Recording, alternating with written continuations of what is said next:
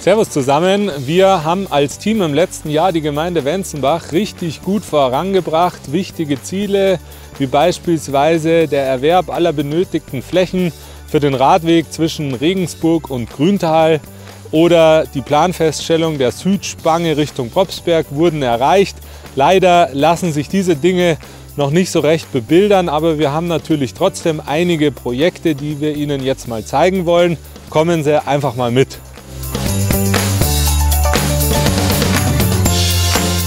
Das Schloss Schönberg befindet sich im Privateigentum, nicht so der Schlosshof, der gehört der Gemeinde und diesen wollen wir für die Wenzenbacher Bevölkerung zu einem richtig attraktiven Kulturbereich umwandeln. Die benötigten Genehmigungen haben wir im zurückliegenden Sommer erhalten und zugleich mit gewissen Bauarbeiten, so in etwa der aufwendigen Sanierung der Burgmauer begonnen.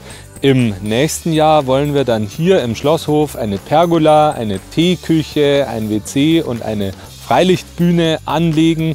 Insgesamt rechnen wir mit einer Investitionssumme von 1,6 Millionen Euro und uns wurde schon eine Städtebauförderung in Höhe von 720.000 Euro zugesagt. So viel zu dieser mittelalterlichen Luxusimmobilie. Und jetzt kommen wir zu einem Luxusgut im Hier und Jetzt.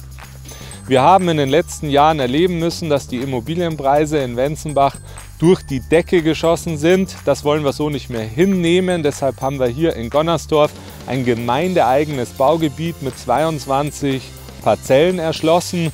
Diese Parzellen wurden zu sozialen Kriterien wie beispielsweise dem Einkommen oder der Familiengröße vergeben.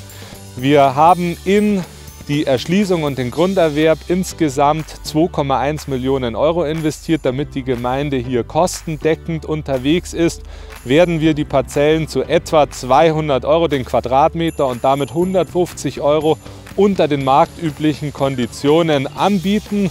So funktioniert soziale Wohnungsbaupolitik im Sinne von Einheimischen, Normalverdienern und Familien.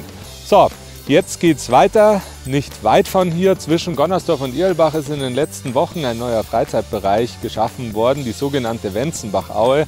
Wir haben den Bach meandriert, Spielgeräte aufgebaut, Grillplätze geschaffen und nächstes Jahr sollen dann noch weitere Pflanzarbeiten erfolgen. Nach Abschluss aller Baumaßnahmen werden wir so etwa 515.000 Euro investiert haben, wobei wir 290.000 Euro vom Amt für ländliche Entwicklung als Förderung zurückbekommen.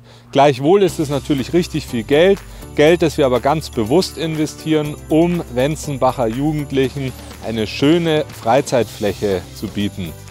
Kommen wir von den Jugendlichen zu den Wenzenbacher Kindern. Wir haben hier am Dorfweiher im Mai 2018 einen neuen Kinderspielplatz eröffnet.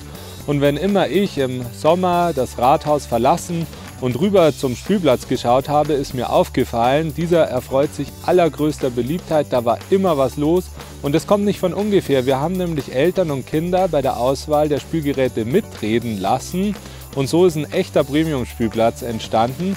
Insgesamt hat uns dieser Spielplatz 140.000 Euro abzüglich einer Förderung in Höhe von 60.000 Euro gekostet. Und jetzt geht es weiter zu einem Ort, wo ich im zurückliegenden Jahr wirklich sehr viel Zeit verbracht habe.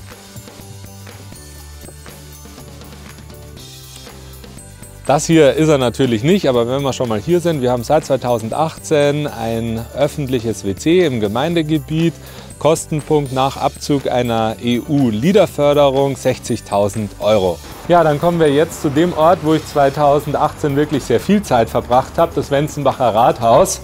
Wir haben in den letzten Jahren die Verwaltung richtig gut aufgestellt und das war auch wichtig, denn 2018 kam erneut der Bayerische Kommunale Prüfungsverband und im Gegensatz zu 2014 haben wir diesmal großes Lob von ihm bekommen. Damit wir auch künftig gelobt werden, mache ich mich jetzt wieder an die Arbeit und Ihnen wünsche ich für das Jahr 2019 viel Erfolg, Glück und Freude. Machen Sie es gut.